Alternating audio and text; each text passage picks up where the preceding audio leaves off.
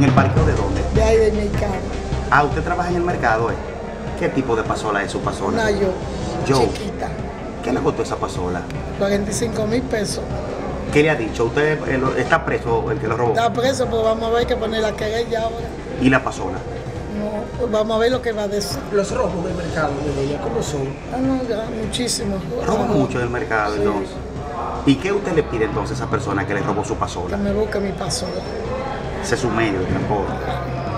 ¿De dónde, es usted, ¿De dónde es usted, mi querida? aquí de la Santana, Bueno.